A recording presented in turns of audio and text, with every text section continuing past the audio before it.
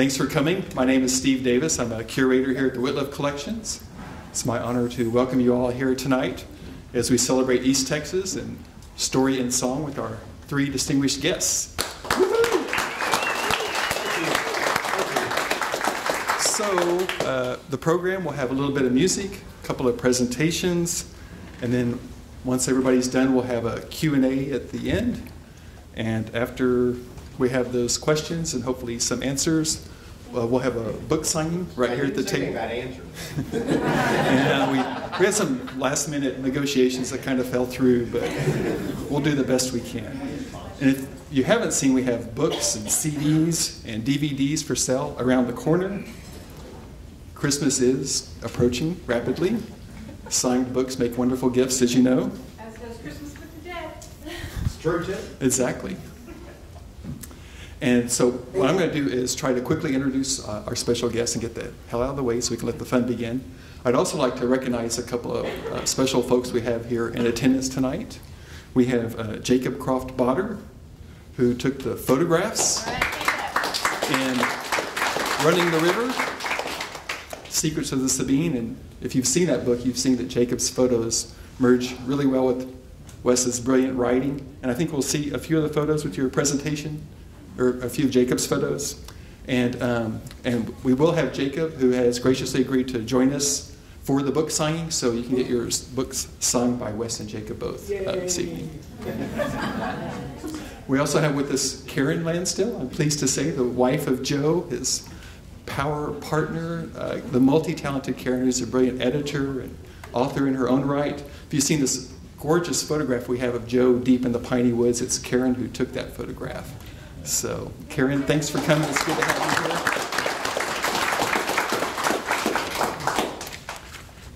here. And I'd like to say it's our pleasure to have Kasey Lansdale join us tonight. Kasey is a product of the multi talented Lansdale family.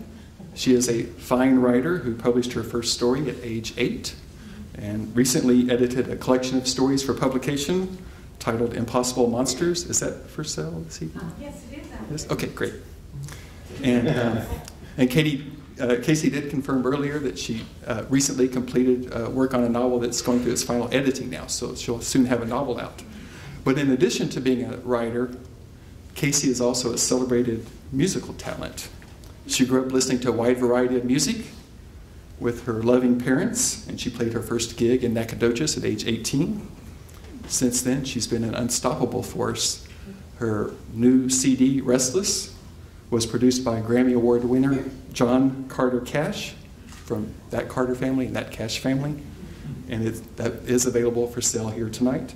I just want to read you a quick portion of this rave review in the Music News Nashville that uh, praised KCCD as a stunning product of that great state of Texas that soars like a butterfly into the stratosphere. So I probably don't need to add that Kasey's been pretty busy since that CD's come out. She's been watching the album and its singles move up the charts.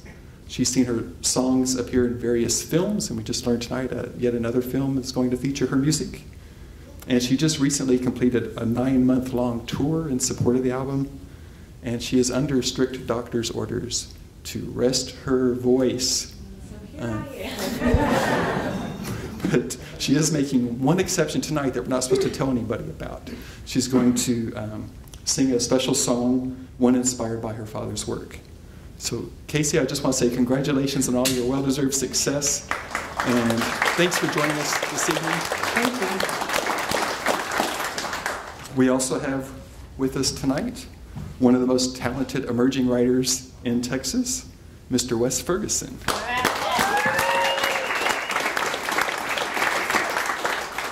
Wes grew up in Liberty City, graduated from Sabine High School, which is just down the road from Gladewater, which is where Joe was born and raised. There's a shrine there. no, no, there isn't. There should be. Um, wow, I lost my track of thought. Okay. Um, Wes took a journalism degree uh, from UT Austin in 2004, and since then has been tearing up the world of journalism, sometimes literally, I think. Um, those of you who are readers in this area may know Wes's tenure at the Hays County Free Press, where the newspaper won a war, award for uh, general excellence, I believe, for the state of Texas, which is a great testament to your leadership of that paper. I've been a big fan of Wes's journalism, and it's been a real delight to see him turn his talent to writing books now. And Wes's book that we're featuring tonight, the highly acclaimed Running the River Secrets of the Sabine, is a revelation. For those of you familiar with the classic Texas River book, John Graves' Goodbye to a River, you probably know that Graves is often regarded as a something of a Hemingway-esque figure in Texas letters. And so I just want to say if John Graves is our Ernest Hemingway, then Wes Ferguson is our Hunter S. Thompson. because this is a gonzo account of life along the Sabine. It's a hell of a good book. And among those who have praised Wes's book, fittingly enough, is Joe Lansdale. And you'll see Joe's great quote about the book uh, when you go over and buy your copy uh, after the program to get it signed. So Notice Wes, how he said bye.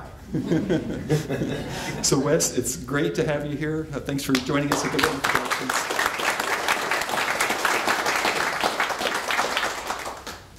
And now I'd like to salute our champion mojo storyteller, Mr. Joe Lansdale. Thank you. Thank you very much. I. I sound like Elvis, don't Way to run. Joe is a literary virtuoso, the author of nearly 50 novels, the winner of the Edgar Award, nine Bram Stoker Awards, the World Horror Convention Grand Master Award. Too many awards to count, actually. But I want to mention just one other award. Um, in 2006, Joe won Italy's Grinzani Cavour Literature Prize for Lifetime Achievement. This is a very prestigious award that previously went to seven consecutive Nobel laureates before, I ruined it. I before ruined Joe it. snapped that streak. That's right. No about.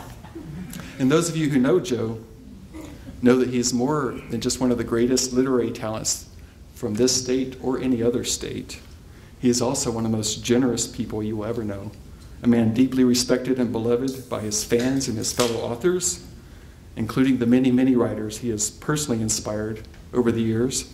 I can speak for myself in this regard, and I know that Wes feels the same way, as do many others. Uh, and we have Mike here, who was talking about this earlier, who have benefited from Joe's encouragement, support, and wisdom. Those of you who are Facebook friends with Joe, um, my wife is, and she talks, and I've heard other people talk about these writing tips that you post nearly every day, which really inspire so many people. Um, uh, would like to say that one of the enduring monuments you'll find to Joe's great generosity is right here at the Wittliff Collections. We are the home to a major Joe R. Lansdale archive, which exists because Joe has very generously and graciously donated his papers to this collection. Here you'll find a treasure trove of manuscripts, correspondence, publicity materials, reviews, interviews, clippings, prized artifacts, numerous foreign editions of Joe's books, and um, you'll find interesting things like this word processor that Kasey destroyed when she was a little girl. have on exhibit right now. This great skull shirt. So if you haven't seen this display we have, which just shows a small sliver of Joe's archive, we have it uh, on view. It's around the corner uh, near where the food and book sales are. What Joe's assembled here is a major literary archive that nourishes and inspires current and future generations of scholars, students, writers, really anyone interested in a good story. And I also want to add that um, those of you who have followed Joe's career know that he's quickly becoming an international literary superstar, and Hollywood is finally catching on to what a goldmine Joe's novels are. Um, his novels adapted to film include the cult classic Bubba Ho-Tep. Has anyone here seen Bubba Ho-Tep? What do you think of that movie? Yeah.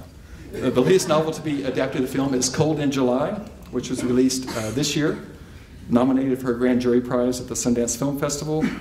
This film also received a five minute long standing ovation at the Cannes Film Festival. It's winning prizes at film festivals all over the world, and it just came out on DVD, and that's also for sale here this evening, I believe. Yes. So, you know, once uh, we got in touch with Joe and he agreed to come here today, we've been so excited about this. And Joe, I just want to say uh, in closing that it really is such an honor for us to host you. You are one of the most breathtaking and original literary talents this state has ever produced. And you're one of the prized authors at the Wittliff Collections. We are so grateful for your donations. And I hope that those of you who feel the same way I do will join me in thanking Joe and welcoming Joe to the Wittliff Collections.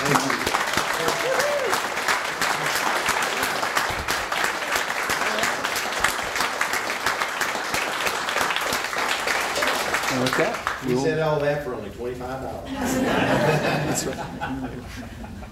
Take it over. I'm here because nepotism is real. and uh, of course, there's a novel my father wrote called Edge of Dark Water.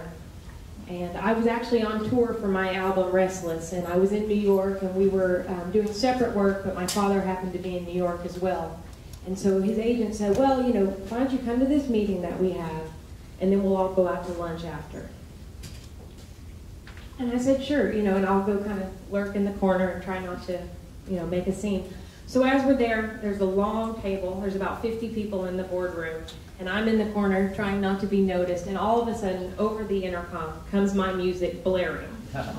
And I was both thrilled and mortified simultaneously, which is a unique feeling. And his agent says, why aren't we doing something with this? Why aren't we doing cross promotion?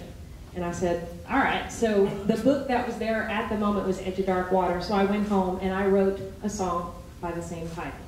Now, if you have read the book, and this is not a spoiler because it's one chapter in, there's a girl and she's dead because it's a Lansdale novel and that's just how it is. So, chapter one, she's dead in the bottom of the Sabine River, Singer sewing machine tied to her ankle, and they want to know why. I felt like it's kind of unfair that she's dead. She didn't really get to tell her story, and everybody else got 300 something pages. So when I wrote this song, I wrote the song that I thought May Lynn would like told, and again, Edge of Dark Water. All right.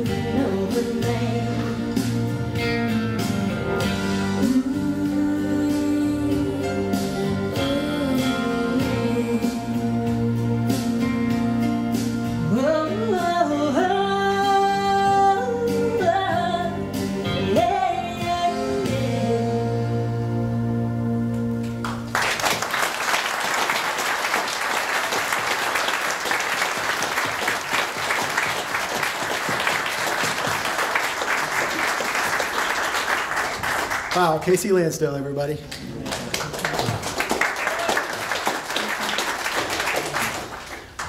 Like Steve said, I'm Wes Ferguson. I'm the author of Running the River Secrets of the Sabine. Uh, first, I just wanted to thank Steve Davis and the Wittliff Collections for inviting me to participate in such a fun event in this beautiful space. Um, for this book, um, my collaborator was Jacob Croft Botter. His photographs will be on display here in a minute.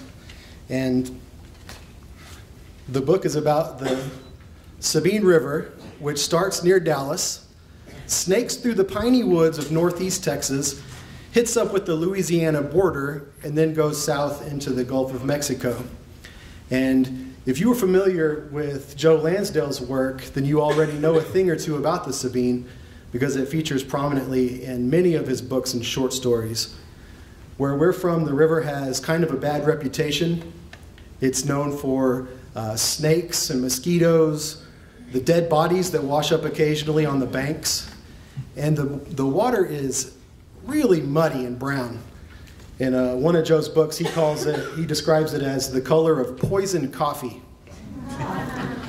Um, I grew up near the Sabine River, but never gave it much thought until one day I was driving into town, going across the Sabine River Bridge, and I saw the water flowing past and saw where it kind of disappeared around a bend, and I wondered what might exist around that bend. Um, so Jacob and I borrowed a boat and we set out to find out.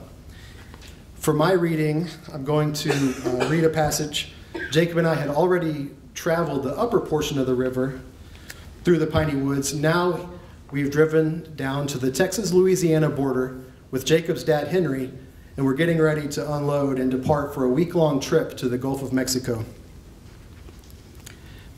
At midday, the forest parted, and we arrived at the boat launch on the Louisiana bank. Then our trip almost ended before it began. We were gathering our gear and transferring it into the boat when an old man ambled toward us on his way to the concrete ramp. His fishing pole bobbed to the shuffle of his steps. He was a withered old fellow, a river rat, with a gray beard, cut off jean shorts, and a head of scraggly white hair in need of scrubbing. The man stopped to inspect our nice new boat, and then he inspected us. He didn't like what he saw. Not planning to go very far? The man asked. Jacob and I glanced at our mounds of camping gear. Dry, box, dry boxes packed with provisions, bedrolls, a tent, a couple of coolers, and two extra cans of gasoline filled the boat. Obviously, we were well equipped for a week long expedition. Was this fellow being sarcastic? Uh, what do you mean? Jacob asked. Are y'all not planning to go very far? The man repeated, his tone bracing for an argument. He picked at his beard and waited for a reply. Well, sure we are, Jacob said. We're going all the way to the Gulf of Mexico. Not in that boat, you're not, the man declared. There ain't no water. I nearly dropped the ice chest I was holding when I swung to look at the river beyond the boat ramp. A tangle of scrubby green trees and bushes lined the opposite bank. The sheet of brown water was saturated by mud, sand, and tiny particles of decaying trees and other plant matter. Then I noticed a more troubling sign. Large yellow spots dotted the water like submerged islands. Those spots, I realized, were sandbars lying just inches below the surface. He had a point. The river was low, very low. You won't make it a mile, the man continued. I should know. I was raised on this river. He volunteered more bad news.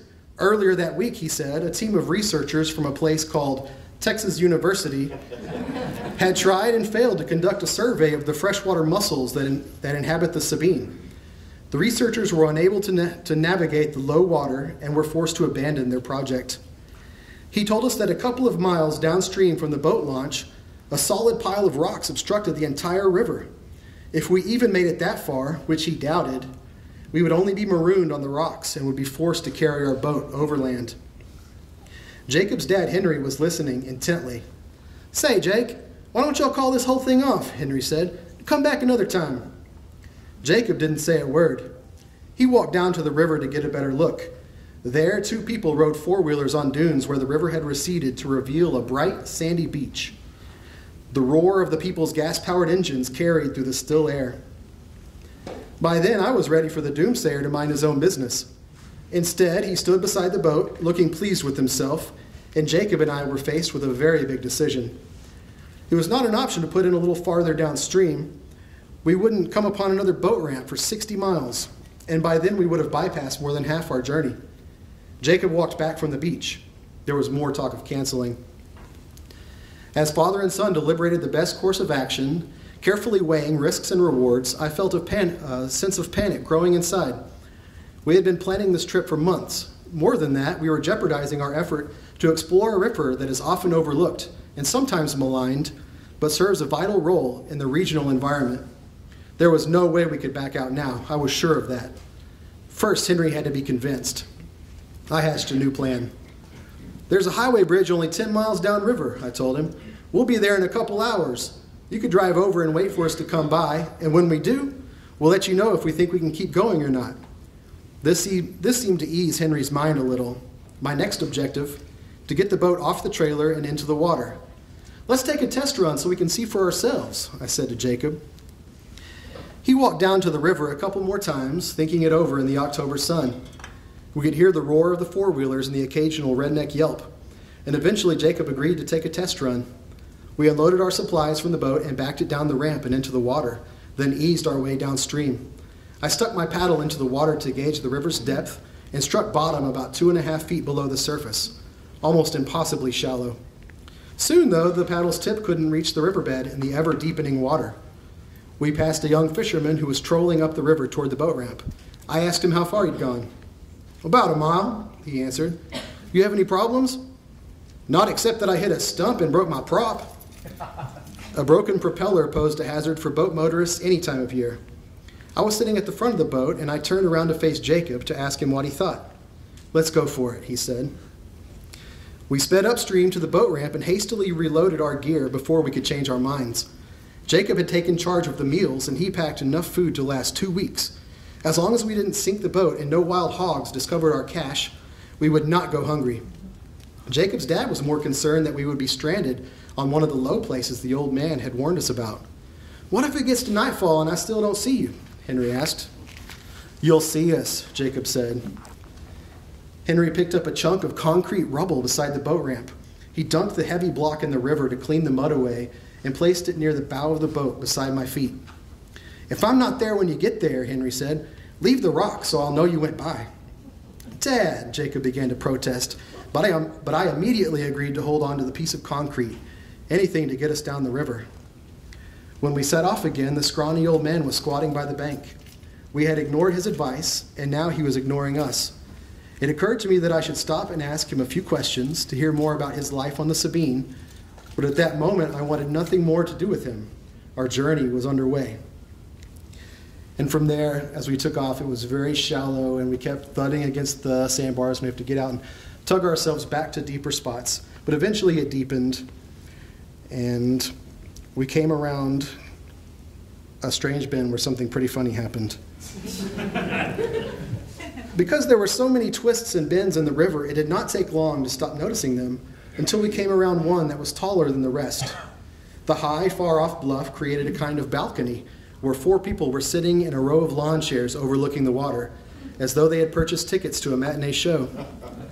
Come to think of it, the Sabine River was probably the only show on that lazy afternoon on the western edge of Louisiana. I swear I'm not making up what happened next. We waved, and they waved back, so we decided to stop and visit for a moment. Just as we were pulling onto the sandbar beneath their bluff, a burst of gunfire exploded in our ears. The river plop plopped behind us, a warning shot. The gunfire echoed across the water. Was that aimed at us? I asked. We ducked in our boat and froze, not sure what to do. Soon we heard a shout from the tall, off, from the tall bluff. Sorry for shooting at y'all. I thought you was my brother.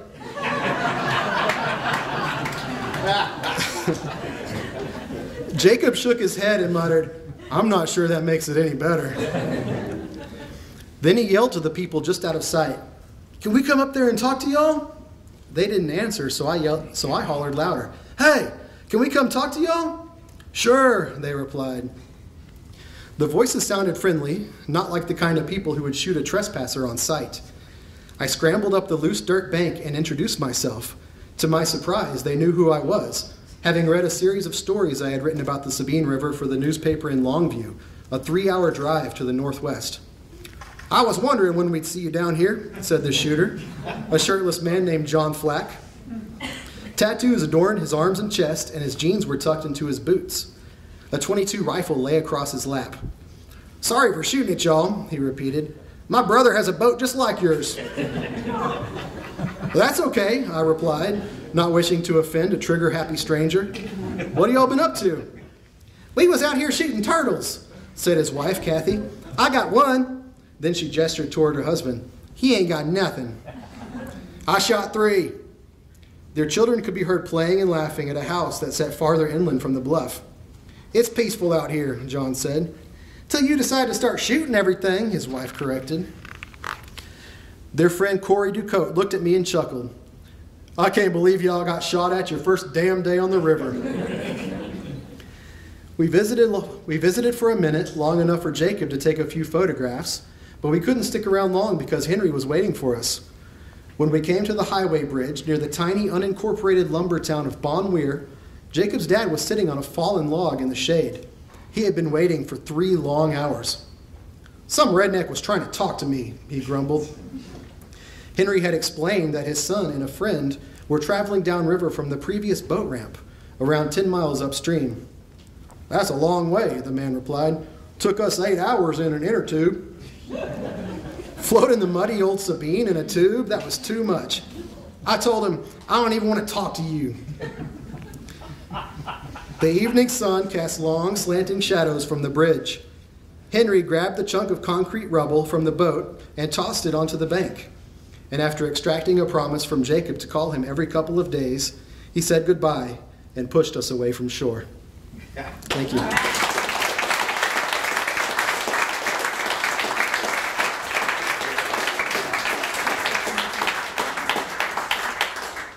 Presume I'm up now?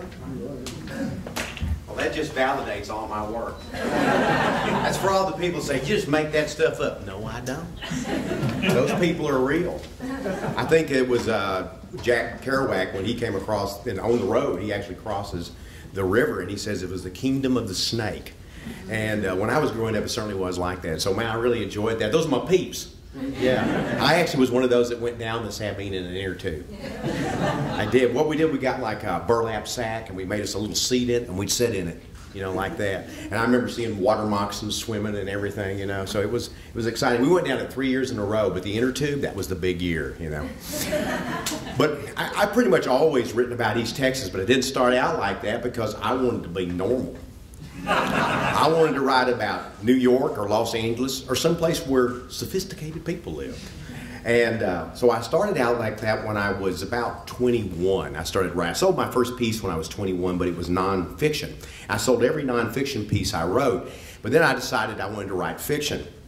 And I always remember that I was uh, I worked in the rose fields. My wife and I both did. We hauled hay. We did the usual, you know, country jobs that a lot of us grew up doing. And uh, Karen, on, the other hand, was from San Antonio and was much more of the sophisticated level. So she married it down, you know. but uh, you know, we we did all those kind of different hard, oddball jobs. And but in the meantime, one year when I was working for the rose fields, the weather got really bad. I mean, really bad, and there was no rose field work.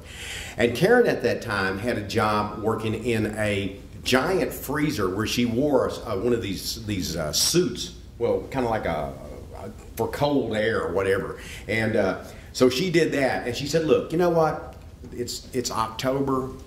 The weather's not going to get any better. So why don't you just spend the next three months writing fiction?" Of course, I'd been writing, you know, every time chance I got, but I thought, "Wow." That's not very smart. I get to stay home and write. You know?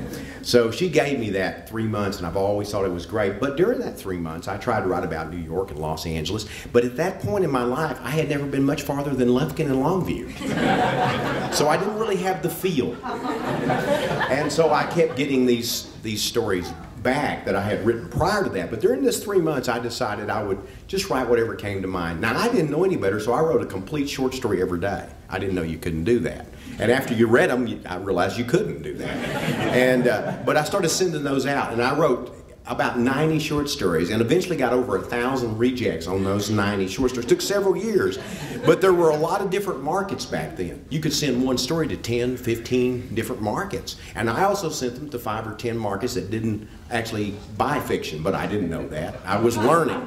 So Dog Digest didn't buy science fiction, I discovered. But I sent all of these stories and these, these 90 stories. And during that time, though, that was a big thing for me to learn to write and to produce. But I also, in that same time, I read a short story called Crawfish by Ardath Mayhar. And she lived in East Texas. And it was the first time I had ever read a story where they were talking about East Texas. And that wasn't the first Southern story I'd ever read. But I thought, wow, she's from East Texas. She wrote this. Nobody laughed. They bought it.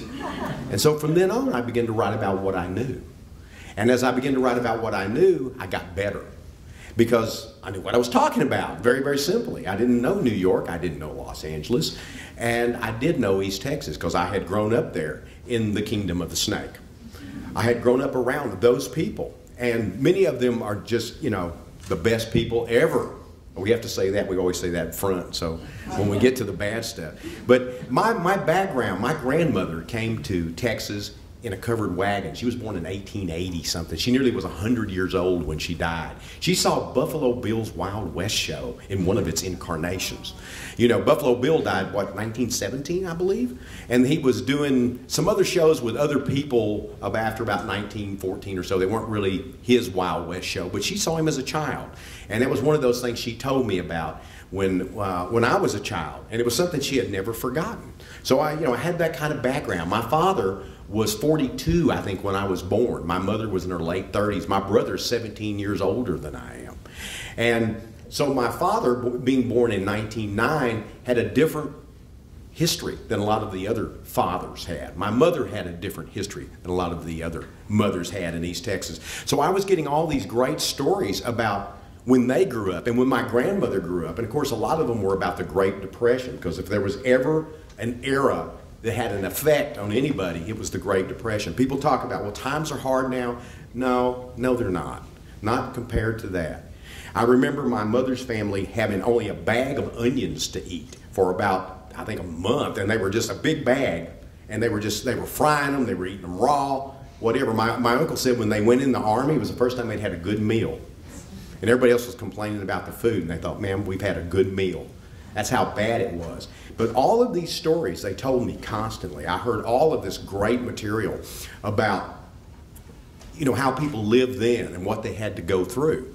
So as I began to write, not only was I writing about East Texas, I was moving in that direction to write about the Great Depression. And I've written about it several times, many, many novels about the Great Depression. I also wrote a, lot of stuff about the Old West about East Texas, which is not exactly the Old West, but it, it had its element.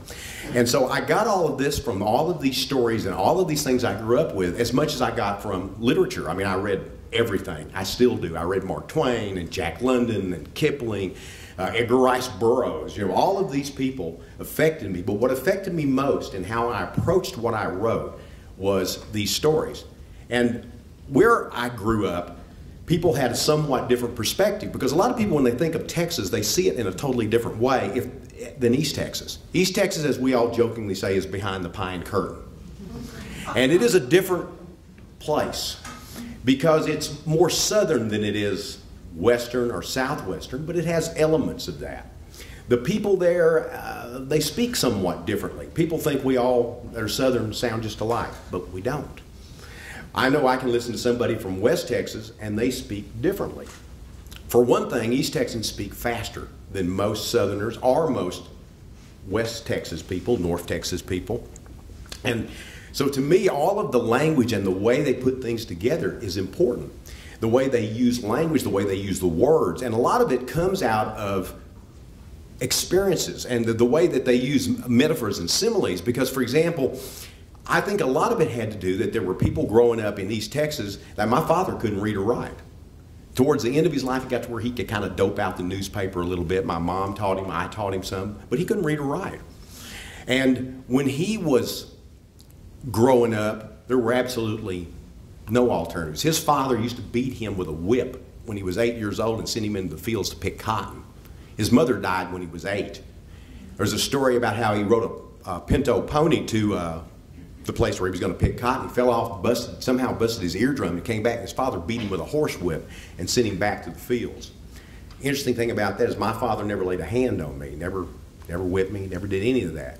He was a guy who did what he had to do to make a living. He was also a very smart man, but not an educated man. So what my parents did is that they tried to find a way to make a living, and my mother bought an old Model T or Model A car, and my dad always wanted to be a mechanic.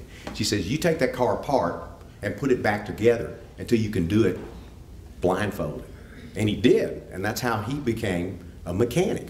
But during that time too, that he was learning to be a mechanic and working at all these other jobs, he started going to fairs to wrestle and box for money. He did that so they could you know, have a living when they needed it. My mother would say we'd get really bad shape, and he would catch a train over in Lindale and ride it underneath. He hoboed and ride it over to Tyler and different places where these events were happening. And she said he nearly always won because he couldn't lose. We needed the money. Because what it was done was all comers. And this was kind of the beginning of uh, professional wrestling. That's how it got started, was actually these, these carnivals where people would do this. They have a guy and they take on these all these all comers. Anybody that came up and said, "Look, I think I can beat you," you got your opportunity. And so that's how he did that. So all of those stories and all of those things, all of these East Texas elements have found their way into my work over the years. And I keep going back to that well. Someone once said, several writers have said that you always just, whatever you have in your youth, you constantly mine for your fiction. And I think that's true.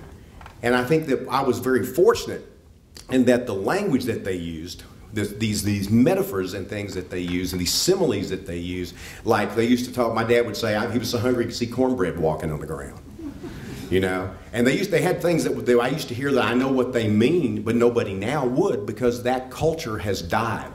Uh, there used to be, uh, I'll stomp a hole in you like a sow's bed. But nobody knows what that is now because hogs, you know, you don't raise them wild like you raise them on concrete now. But they used to, you know, dig a hole and get in that bed. So if somebody would say they were threatening you, they were going to stomp a hole in you like a sow's bed. Or I'll whip you so bad you'll follow a wagon like a dog. Because that's what the dogs used to follow the wagons. You know, they would have them, make them get to the back to follow the wagon. So all of these, these kinds of things, to me, were more impressive than a lot of the stuff that I was growing up with at that time. And I remember when my grandmother and my uncles and my dad, all of my people would sit out under a tree and tell stories. And all the kids were there, and they would all go chase fireflies. And I would always kind of creep back and sit under this tree and listen to them talk. And they told some great stories about their family. They told some damn lies, too. I mean, you know, there were a lot of lies. But they also brought a lot of folklore uh, to me, things about Billy the Kid and Jesse James, and stories that were, you know, popular then when they were young. And so all of this stuff just sort of blended into this gumbo, you know, for me. So when people say, you know, I, I read this stuff and, and, it's just such a mixture, that's why. Because I grew up in the 60s, I was one of those liberal guys, you know. And I was one of those guys that was uh, opposed to the Vietnam War and didn't go and nearly went to prison, and just like some of my characters in the Hap and Leonard series and things. So, but I was while I, these experiences I was having were later going to lead me to write certain things, so were the experiences that my parents had, that my grandparents had. So to me, East Texas is this wonderful, wonderful well that I can drop a bucket into anytime I want and come up with fiction, with a story. Because talk about characters, man, we got those. We got plenty. It's like sometimes you'll talk to another Texan, they go, they're telling you something, oh, I don't believe that. Where'd that happen? You say, oh, okay. yeah, I can see that. You know, because they can. Um, some time back, I wrote an article for the Texas Observer, and uh, it kind of covers some of that ground. And I brought it here to kind of uh, you know, read a little bit of that for you because I think it's going to touch on a lot of this stuff. And if you're easily offended, I'm sorry. I really am. It was in the Texas Observer, though, so it wasn't that bad. Um, noir is a French word meaning dark. It's a term used to identify a certain type of grim fiction or film. Don't let the French name fool you. There's plenty of noir right here in East Texas. Though it's mixed with Southern Gothic and Western and all manner of stuff, it's a gumbo boiled in hell.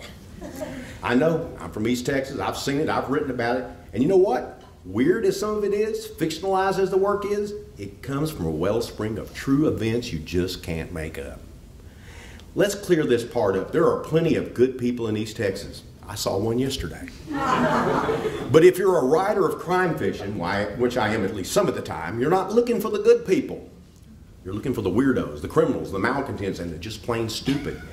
That's your meat if you write crime. In spite of the word, not all of the fiction or films associated with this genre are completely dark.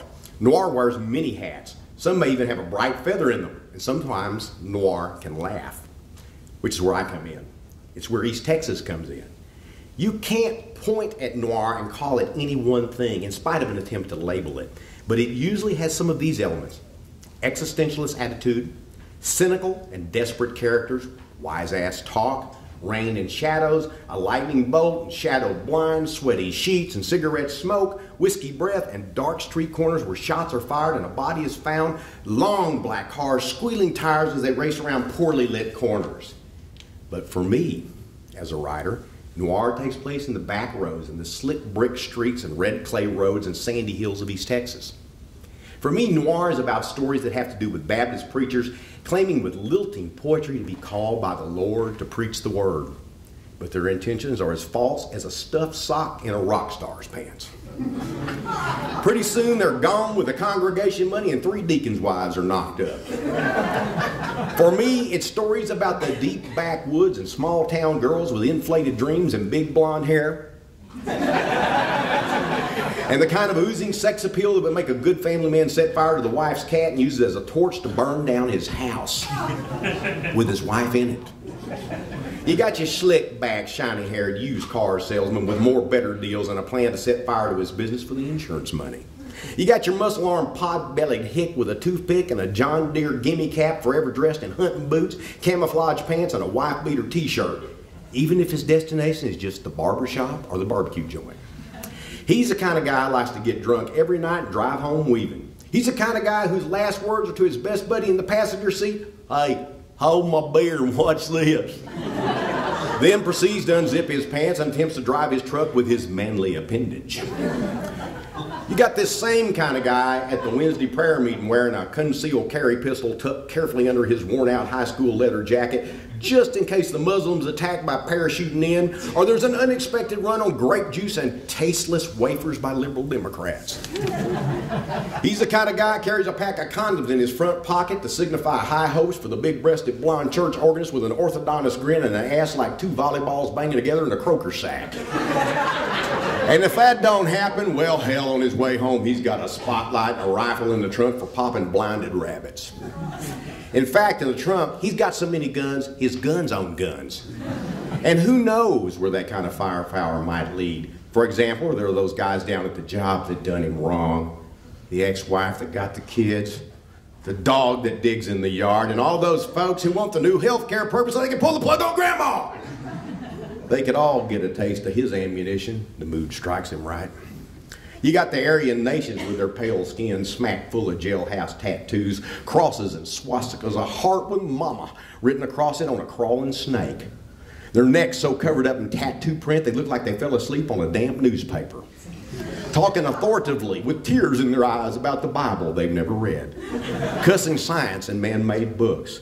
Then you got the Dixie flag, Southern Heritage guys talking about how fine it would be had the South won the war, worrying that they're losing their white heritage, which, when you get right down to it, is most likely great grandpa's weed infested grave, a mayonnaise sandwich on white bread, a moon pie, a bag of pork skins, a big Bud Light, and a Jim Beam chaser.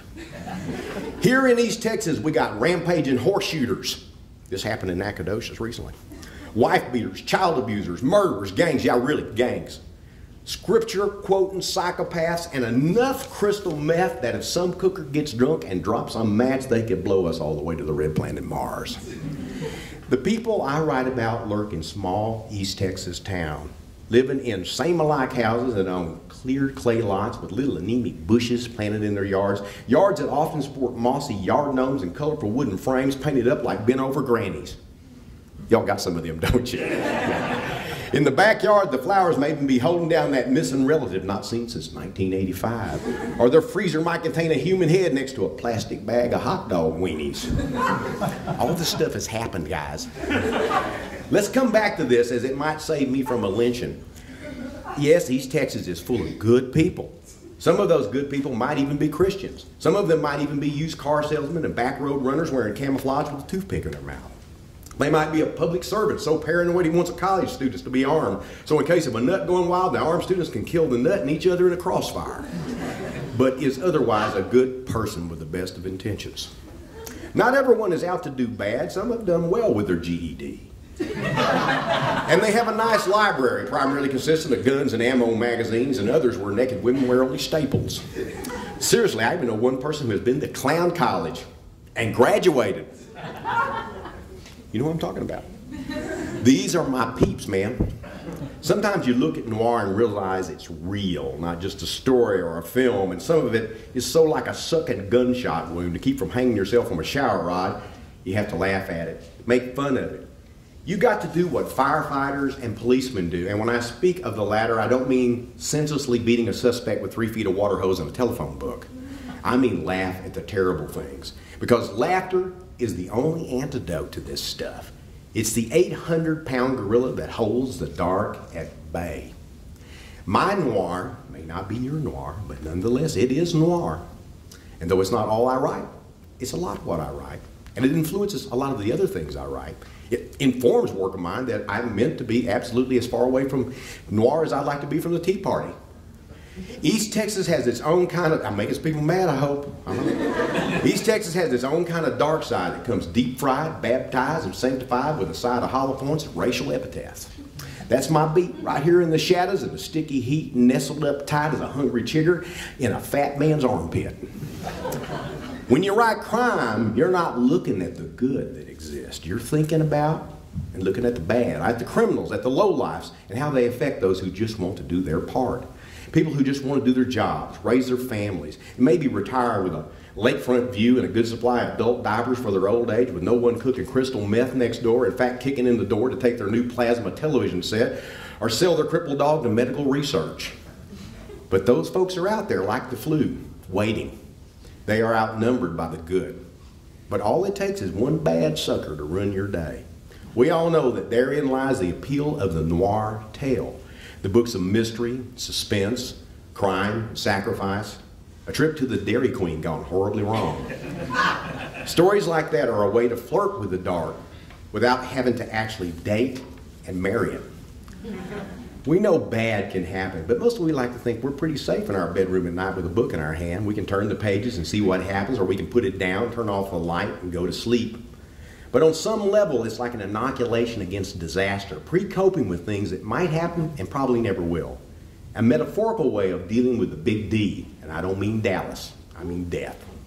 That part will happen, be it by crime, poorly chewed steak lodged in the windpipe, car wreck, or lying in an old folks' home wired up like a spaceman watching shadows move across the wall. Noir is our way of saying howdy to the dark side without going there to live, at least not just yet.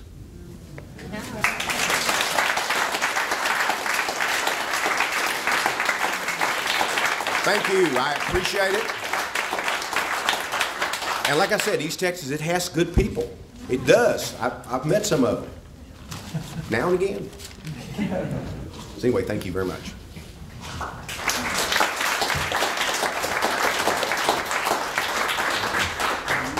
We'll open it up to the questions now. Oh, come on. Where does the time go? I have a question. What was the cement stuff in the boat that we didn't hear about? Oh, so um, Jacob's dad Henry was really nervous about us setting off on this, you know, going down the river, not really knowing what the conditions were like. So he found a little chunk of concrete rubble, you know, just big enough, like the size of a football. And he said, "Here, I'm gonna put this in the boat, and then when you guys come by the bridge, if I'm not there, set it out on the bank so that I can see it and I know that you went by and you're safe." It was completely ridiculous. But, you know, It's a terrific book, by the way. You- You really should read it. It's absolutely terrific. And, and uh, like I said, those are my peeps. Those are the people I just, yeah. yeah, mine too. Uh, Joe and I grew up, I guess, many years apart, but probably Watch less, it, than five, probably less than five miles away. Yeah.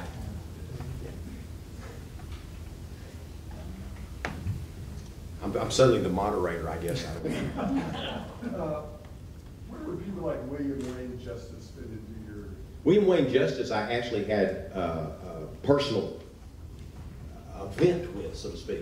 When I, in 1970, I went to Tyler Junior College, and my hair was a little long for that time, and they would not let me register. So I had an injunction against the schools called uh, Lansdale et al. versus TJC, and Judge Wayne Justice was our judge. And it was a big, big trial. And you know, you can you go back and look at the newspapers. There's pictures of people, the judge, me, and everybody. And uh, um, so one day, I remember as he's hearing all of these arguments on both sides, that uh, and their argument was that because we had long hair, that we were basically stupid. Which, there could have been something that. But but we were all on like I was on the dean's list, and you know at that time. I was waiting until it was all over so I could just go to hell, you know. But, but yeah, I was on the dean's list. One other guy was like uh, even more so. He had like almost a straight 4.0, and I had near that. And the other guy, I think he had a pretty good average too. So they lost that argument. Well, one day Judge Wayne Justice showed up in court. He was wearing a Beatles wig. And I thought, I think we're going to win this one. and we did. And uh, so that's my association with Judge Wayne Justice. And, and, and uh, Judge Justice said in many uh, articles and interviews later that that was the most important trial that he ever attended to because it was a civil rights trial. And he used that not only so people could wear their hair longer, but he used civil rights for blacks, Hispanics, whatever. You know, anytime it was civil rights, that particular trial was something that he could use as a basis for it's happened before, sort of thing. So, so funny you should ask about him because I had that association. well, he was a hero, who were your heroes? Well, he was after that. my dad was my hero, my mom, my parents were my heroes. I mean, they, they had their faults. You know, like I've got, I got one or two, but you know, everybody has them. But they were great people. They were very wonderful people. So, and other than that, it was writers a lot. It's like uh, Mark Twain's a hero, Flannery O'Connor. Uh, I loved her work, and I, I still do. Ray Bradbury. I mean, I could get this Richard Matheson. I could start this list, and it starts getting longer and longer. You know, I liked all of these people as writers, and and and sometimes, you know, in biographies I read, sometimes the people that so Mark Twain to me is one of the most interesting people that ever walked the earth. You know, so I, I've got a far larger list, but my father and mother mainly. My father, when I was uh, 11, started teaching me boxing and wrestling. And so I got interested in it. By the time I was 13, I was doing judo. As of this month, I've been doing martial arts 52 years. I'm starting to get long in the tooth, but I'll surprise you. I just taught a martial arts camp this last weekend, and I'm going to Indiana to teach a, a seminar because I'm, I'm in demand for that. And I founded a system called Shen Chuan. And that system now has followers, and it has people that will be taking over after me. Uh, but all of that was from all of that, my father teaching me boxing and wrestling and encouraged me. And also, he encouraged me to be a writer because I wanted to do that. From the time I could first remember wanting to do anything, it was writing. And I was probably four years old or something. I was writing and drawing comic books. And I became a writer because I couldn't draw very well. And the writing was so much more appealing to me, you know. So I started doing that. And then by nine, I had written a story and all that. But my dad and my mother always encouraged me. My mother was a big reader. And so she was always putting books in my hand and comic books. And comic books are the most important thing I ever read because they excited me. They caused me to say, Jill, this is great. Now I want to read other things. So I'd have to say that they. And then if I go beyond that, and I'm not just saying this because she's here, my wife is my hero. She really has been, I couldn't have made it as a writer had it not been for her. Um, I mean, I was always not somebody that needed a cheerleader much. I'm not like that. I'm pretty confident, and that comes from martial arts. But there were times, and like my wife telling me, just take this three months off and write. And not many wives are going to do this. They say, well, what do you mean you're not working? Maybe you can get some part-time work down at the filling station. And I don't blame them. But I'm just saying she didn't do that to me. And she's always believed in me. There was never a time, not one time, she ever said, maybe you ought not, you know, be doing this. And of course, I was working other jobs too. I mean, I wasn't, you know, sitting on my butt. Just those, but those three months were important. And then I worked as a janitor and I, I was a bouncer. I did all kinds of jobs for many years. And then when I was 29, I think I was just short of being 30, uh, I was able to go full time. And it would look great. I mean, those, and then it collapsed. And then, I, but I, I, I fought my way back up. And uh, by 86, when she was born, I knew I was going to have to have money. I just, we sensed it. So the career started moving much faster. But, but, uh, uh, yeah, yeah. But, but really, those people are my heroes. I mean, I, it's a roundabout way of answering the question, but that's good. I think somebody had a question over there. Oh, there it is. In the back. Uh, Joe, I, I did some field research in East Texas, and I went to school at Nacogdoches. All right. But I can't tell you, the layer of layer upon layer of local color, and I was somewhere, a little town, somewhere, it's five o'clock on a Friday, and it's obviously everybody had gotten paid, right? Yeah. So I was, the local convenience store was filled with people bet on the lottery and, you know, stocking up. But the guy in front of me had shoulders like this, and he had a wallet his back pocket with a big chain on the back of it, right? And then I turned around, this other African-American lady, she was in her pajamas, right? T-shirt, it said sexy or something like that. She had flip-flops on and pajamas. And then th- this guy with the hunting dogs comes in, right? He's got a pickup truck full of hunting dogs. And I said, I, this is, this is just one layer after the next. It was so colorful. It's really deep East East Texas. The dogs are driving when they come out. yeah. But you, you know, one of the things that, that East Texas that influenced me, and it, it sounds like I'm just talking negatively about it, and I'm not. But when you're writing crime, uh, uh, you know, that's what your slant is a lot of times, is crime fiction or whatever. That's what you see. It's great people live, you know, in East Texas too. But when I was growing up in Gladewater, Texas, the thing that influenced my writing a tremendous amount was racism. It just it upset me. You know, even when I was young, I thought. I don't know. I don't quite get this. You know, you, you grow up with it, and at first it seems natural. But one time I was going to a uh, uh, the Cozy Theater in Gladewater, Texas, and they had a stair on the outside, and uh, black people were going up the stair. You know, as they called them then, colored when they were being polite. And believe me, they frequently were not polite. And I, I, was with my mom. She was taking me to the movies. And, and I said, Mom, why do those people have to go up there?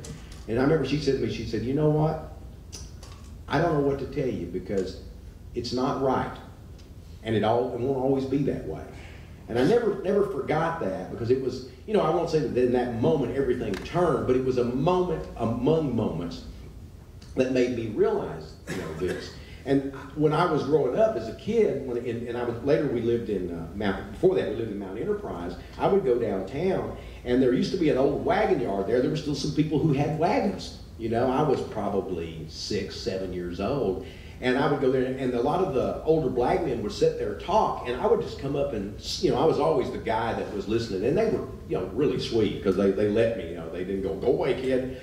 And they, I listened to these stories they told, and I, but what I noticed, and this this affected me a lot, is that they were very nice to me sometimes in a way that I thought was, you know, a kid didn't deserve that much, you, you know, like they treat me like I was a man. But I would also notice that they didn't talk the same way when white people came up. When I was sitting there, they'd come up, then all of a sudden they would go into this shuck and jive thing because that's how they survived. But I, I, have sensed that, and, and we're talking about 19, early 1960s. And so all of that offended me deeply. And that's why so much of my work is so anti-racist. People ask me why that is true. And uh, I mean, it should be obvious why, but it seems to be a, a, strong theme in a lot of books I've written. I've had people say, well, you know, you really, you've written about that before, you don't need to write about that again. I said, well, you know what? That's what I remember. That's what I experienced, and I don't think it's all gone now. You know, people like to pretend it is. When you get around a lot of the people who are telling you, well, I haven't got anything against them, like, you know, like that, and then you start listening to them, and they always think I'm a redneck too because I look like one. And then I start hearing the N word. Yeah? Man, you know, it ain't changed that much. It's changed better. It's way better. I remember when they had water fountains that said colored. I remember when You know, you had uh, uh, bathrooms that were colored. I remember when they had the, t- the, the show, like I was telling you about, that you had the, the stairs, they had to go up. You know, I remember that. I remember when you watched a TV show, there weren't any black faces unless they were clowning, you know, or, or perhaps performing. And, and, and it's not just black, you know, but that was the area where I was. Uh, where Karen grew up, it would probably be more, uh, you know, Hispanic, uh, Latino, but, but where I grew up, it was primarily black. And, and that really affected me. To this day, when I see something about the civil rights stuff, I, I have a hard time not crying because I know how people were brutalized and how people, oh, we all just got along. I've heard people say they stayed over there and we stayed over here. No, they did not all get along. I knew people that drove down to the black section of town because they had their own section. And they would come down at night and catch somebody on the road and jump out and beat them up because they were just black guys. They tell you about it and brag about it. Like four guys jumping on one guy was like a, you know, that was really funny. That was really a, a wonderful brag. Bill Paxton told me, he said that he was raised a lot by his uh, mammy, is what they called her, mammy, when he was growing up. And he said that, you know, he would, when he, after he got grown and went to Hollywood and became an actor, he'd go stay with her when he'd come back. That's who he stayed with. But he said one time he was walking, and there was, this is around Fort Worth, and there was like a wall. I don't know, little wall, big wall, what? And he came, he said, I wonder what that wall is. He got one, and then finally it just dawned on him the obvious. It was the separation of black side of the town and the white side at that particular spot. You know, because I remember he and I were talking about, because he's supposed to direct my film, my book, The Bottoms, the film of it, which is about racism of the 1930s, but we grew up a little later than that, and Bill's younger than I am, but still, you know, that was there. And if people really look, it's, it's still there. It's better. It's way better. I think, I think it's turning the big corner. But, you know, you got to keep turning the wheel. Keep doing it. Sorry, I went off on. Anybody else? Adrian Peterson, who is the running back for Minnesota, has been in the news lately for cruelty. Uh, He's been accused of cruelty to his child. He's a East Texan Palestinian. Mhm. So, Is, when you, as East Texans, hear about that, you think, well, that was business as usual? It- it- Adrian's comment was, well, that's the way my father. Well, you know, when I was going, I didn't get any spankings but one. My mom whipped my butt with a fly swatter till I thought I was going to die, and I felt I deserved every minute of it. But you know, my parents weren't they, weren't brutalized, but but yeah, but I, I mean, I've known plenty of people who got spankings that didn't turn out to be horrible people. But there's a difference in patting a little kid butt. Don't put your finger in that light switch because they don't have that same reasoning ability. But that doesn't mean you have to spank them. I mean, everybody's got to make that decision. So I don't know much. I've heard about. It. I don't know what degree that means. uh, But most of the time, I think it's a totally unnecessary thing. You know, if, if I had it to do over, I wouldn't have beat Kasey as much.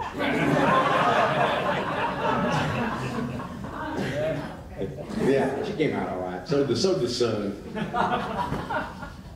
Wes, did you, did you encounter any, any of that, you and Jacob, as you were doing your river trip? Kids getting whipped?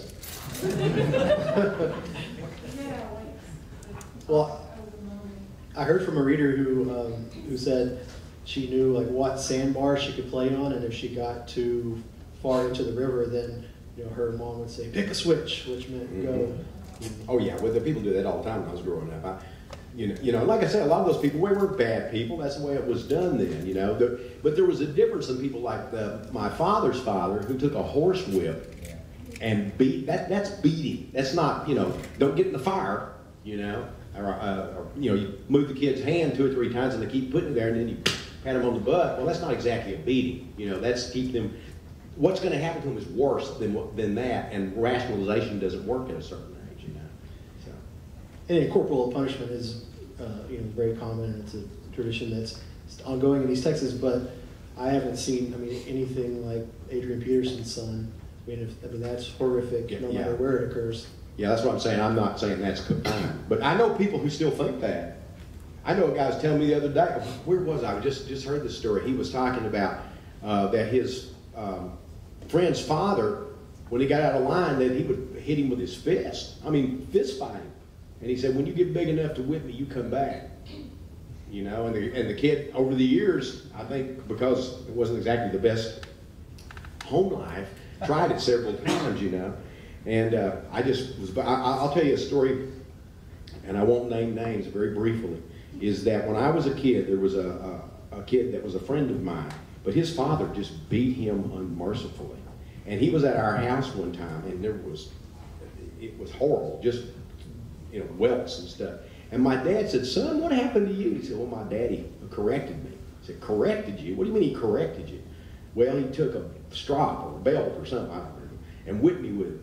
I said, all right. So when we took the kid home, we dropped him off, and my dad called the guy and said, hey, come here. And the guy would come, you know, come over, and he says, you see those bruises on that boy? I said, yeah.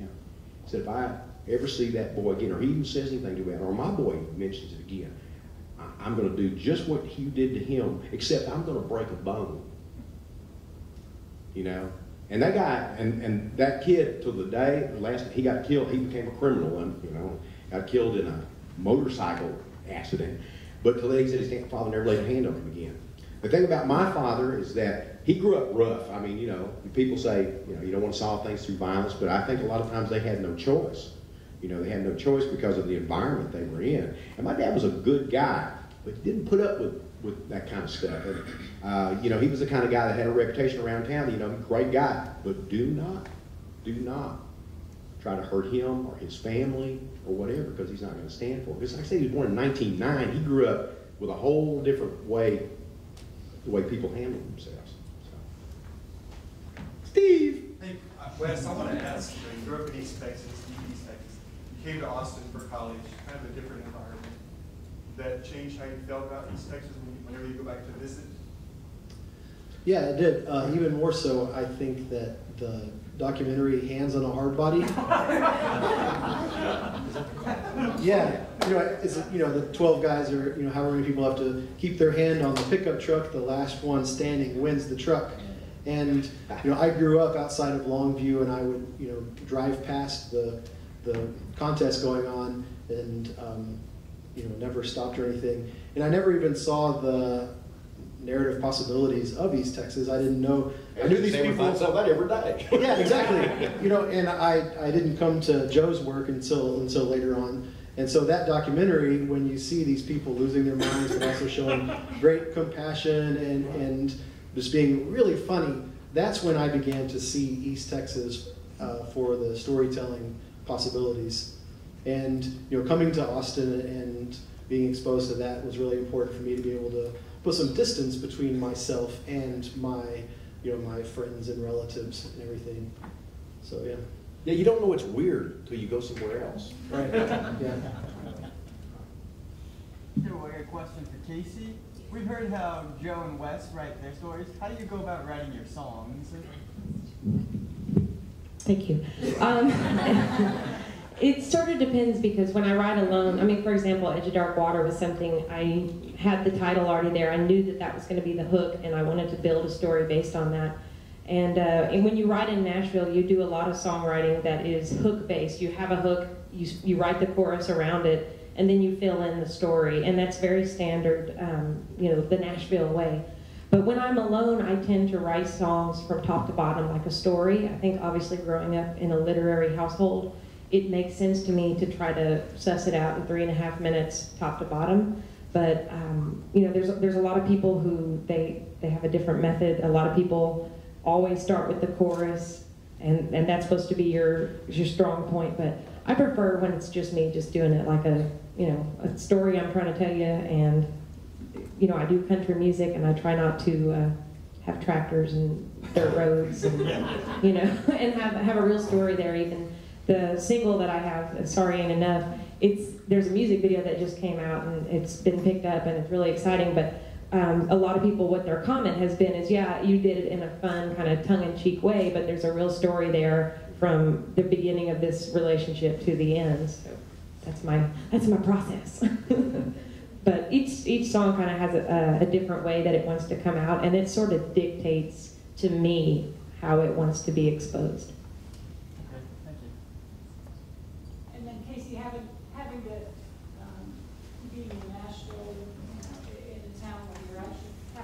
sell your music. I always wonder about that. Because we think about that with photographers we have, especially ones photographers we have currently in, in scope, where they weren't actually taking photos for pay, to, for a public. They weren't going to have to sell them in the gallery.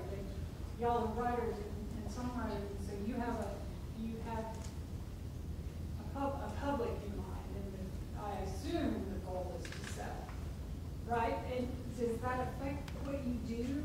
Um, A lot, a little? Well, I come from the Lansdale School, so uh, I, it definitely affects me um, de- more than this guy for sure. But uh, you know what? I was going to Nashville. I was kind of commuting back from Texas to Tennessee, and I had been there for a long time. And I was writing, and I wasn't really coming out with a product that I felt good about. Even though I thought the products were good and the people I was working with were extraordinary, I didn't really have a connection to it. And when I finally just said, you know what, I quit Nashville, I don't even care, that's kind of when the best stuff came out. And I think that's true of any art, is when you quit trying to worry about what everybody's perception is going to be. And um, as he had said, I wrote that novel, and when I wrote that novel, I kept thinking, oh my God, people are going to read this. And, you know, I was like, my mom's to read this, my dad. And so, you know, you, you find this way to, to sugarcoat things. And there was something that my dad always says, um, write like everybody you know is dead. And when I wrote the novel, that made sense to me for the first time. I mean, on a logical place, I understand. But to actually be in there, because there were moments where I go, well, what would my whatever it is think of this? And then once I realized, like, meh, who cares? Um, the art kind of was released. That's so good. Yeah, I, I know that, I can't speak for Wes, he'll speak for himself, but I just know that I write for me. And it's not that I don't care if people like it, I just don't write for them. I mean, because everybody, when everybody here's got a different view. If you don't like my stuff, hey, I can live with it. And if you do, If I'm, don't I'm like your stuff, move over one.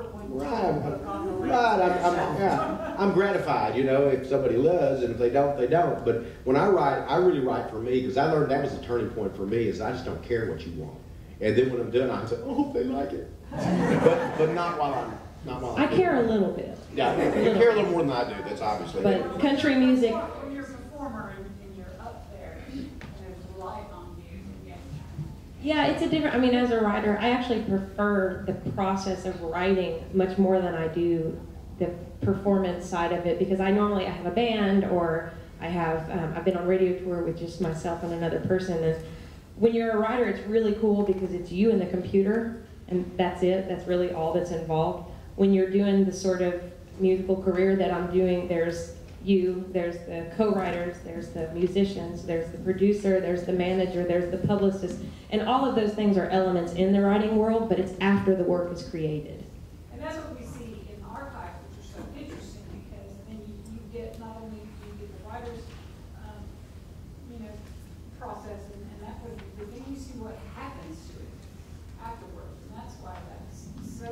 Yeah, and film's even worse, because film, you got all these different people, like, I've written a lot of screenplays and, and things, there's a point when, when, uh, I mean, in fact, I had just my agent just the other day, these guys were trying to negotiate with stuff, and he said, wait a minute. He said, I, I know that you used to deal with Hollywood, he said, this guy ain't like that, he really, he's from East Texas, and he really don't care. He doesn't do it. So if you wanna do it, fine, if you don't, he's fine, and it's true, you know, I said, yeah, now you know, now you finally got it right. So, so that's how you go, so I was curious about the novels, movie, film, like, how is that it for you as a Well, I mean, I didn't do the screenplays on these, so that helps, you know, and so I didn't have to. But I'm actually very pleased that everything of mine's been filmed. I'm very unusual in that way, in that I've been lucky. I mean, I'm waiting for the next big, you know, Bill Paxton better not mess up, or I will kill him. but uh, he's a Texan, he better not do it. But but I have several other things. Uh, there's a thing with Peter Dinklage, the Game of Thrones guy, that uh, for my novel, The Thicket, and he's supposed to star in it. So. Like, yeah, I saw a picture of him. Yeah, the way he could walk right, he's supposed to start it, but I don't know what that Peter will. got to do with See, I'm not, I'm not at this point producing that one, I may, I've been a producer on several other things. Sometimes that's just a name, and you get a name, but the way I've always done it is I get money. And then if I get, and then I try to have as much say as I can, but ultimately, they can say, we're gonna do what we want. But Wes, what about you? Do you, how do you approach it when you're? Well, I'm a little different because most of my professional background is all in journalism. And you've been editor have you? Yeah, yeah. Uh, my book was from Texas A&M, so I had an editor there. Um, a lot of it, you know, when I'm writing, I started as a sports writer, and everything I wrote had to be commercially viable because I had to, I needed, you know, the next assignment. Um, and so now that I'm, I'm starting to write books, It's uh, I feel like it's um, somewhere in between. You know, like the first draft is all about me and it's what I want and what I enjoy. And then when I'm revising, that's when I start thinking, okay, well, you know, what's my uh, grandma going to think about this? You know, what's my editor going to think about? And then trying to translate, you know, what was in my head into something that will, um, you know, communicate to all of all the other people. Let's do one more question. and Got one right here. Go to our book site. Uh, well, this is a good last question. Down the line, what's next for you guys? Two weeks ago, I turned in the first draft of my next book, which is about the Blanco River here in Hays County.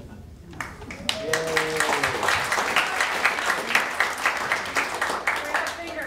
Is that what you say to writers? Break your finger? Yeah, break a finger, twist a paw. Um, I'm writing a Hap and Leonard book uh, for, uh, it's a series that I have, and I'm about halfway done with that right now. And I'm working on a screenplay with my son, and I'm working on a novella with my daughter, and I'm trying to actually direct my first film eventually here if I can get everything together. I, I don't sleep. I don't need it. no, I just get up, and get it done, and then move on. Well, I've seen y'all. I Well, I'm busy. would you? Would you? And, uh, well, I'm, as he mentioned, I'm on vocal rest, And because when you tour for nine months, apparently um, you need to take some time off. So, but everything kind of kept snowballing, so they kept sending me back on the road for the radio tour. But um, I will be in nothing but stretchy pants for hopefully two months. And then I start the new tour. We're turning one of his works into an off-off Broadway play. We're working on a novella right now. I just started my second novel, so I plan to keep busy in the time. Yeah, Kasey produced some plays, uh, two plays out in Los Angeles with Thomas Jane and one based on one of my things, so she doesn't sleep much either. Our son, he gets plenty of sleep. He's a hard worker, but he's a, no, no, I don't want to. Yeah, I'll take it. Clay Thank you.